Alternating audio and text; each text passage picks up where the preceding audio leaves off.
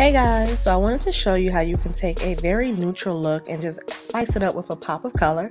So if you want to see how I achieve this look, you already know what to do. Stay tuned.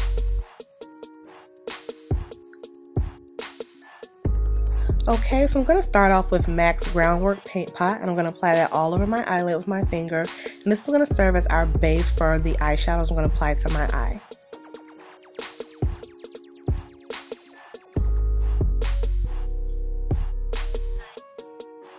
Once that is completely blended, I'm going in with the Naked palette. I'm going to be mixing the colors Naked and Buck, and I'm going to put that all over my eyelid.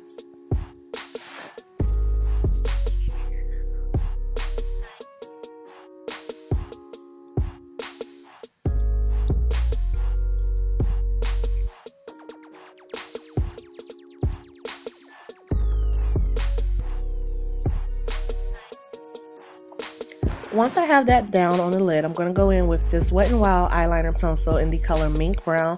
I'm going to use that to just outline my crease a little bit. I wanted to have a very simple cut crease, nothing too dramatic, nothing too sharp, so I chose to go in with a brown color um, just to give this eye look a little bit more definition.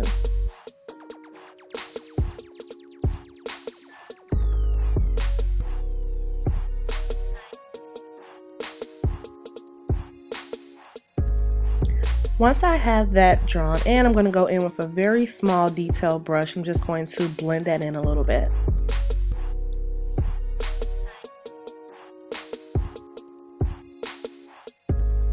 And once I have that blended to my liking, I'm going to pull that down to the outer corner of my eye into the V shape. And then to darken that up, I'm going in with the color Espresso from my Lorac Pro palette. I'm going to apply that right where I uh, applied that eyeliner.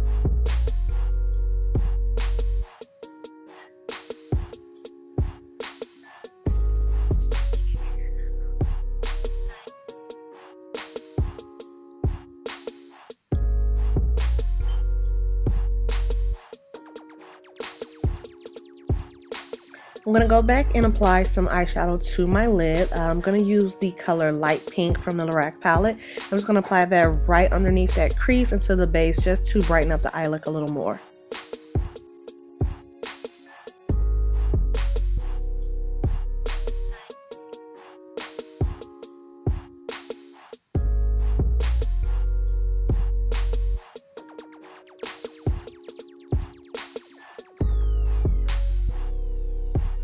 And then I'm going to go back in with that uh, brush and just go ahead and try to outline a little bit more. I'm going to take that pencil brush just to blend it. Obviously, I don't want it to be a harsh line, so I'm going to keep blending until my liking.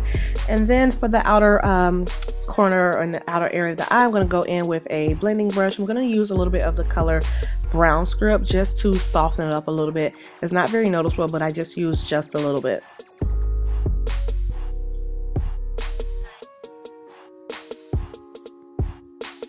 All right, so I'm also to do a very thin wing.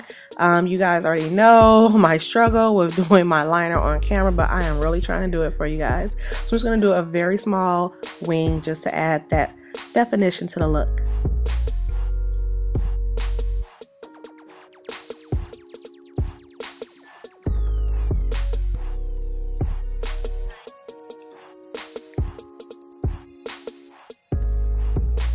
So I've already did my face. You guys have seen my foundation routine before. Uh, so I just went right back to the eyes. I'm adding some mascara to my lashes.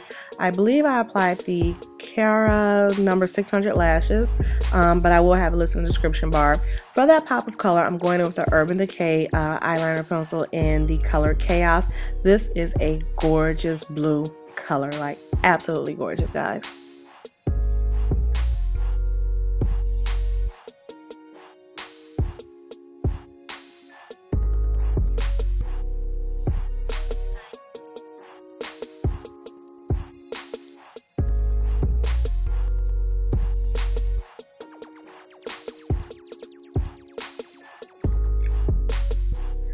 Once I've applied that, I'm going in with my MAC uh, eye pencil, and this is in the color Feline or Smolder, one of the black eyeliners. I'm just going to go ahead and line my waterline.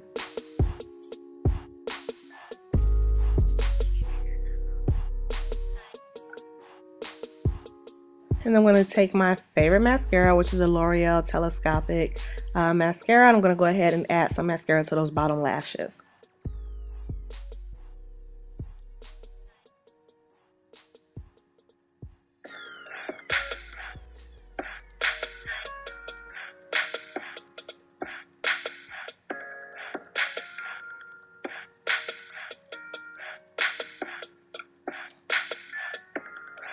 Alright, so I'm going in with a new blush I just purchased and I love it.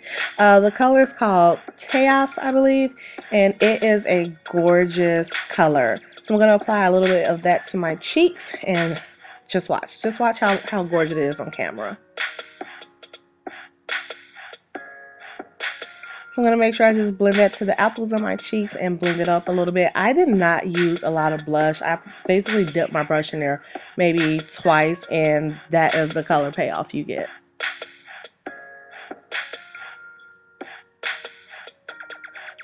Alright, so my lips are done. I just added the MAC liner in Cork and I added the Cream Sheen lipstick. I think the color was Pure Zen, but whatever, I will have it listed below. This is the completed look. I hope you guys like this, and if you do, you already know what to do for your girl. Go ahead, like, and subscribe, and I'll see you in the next video.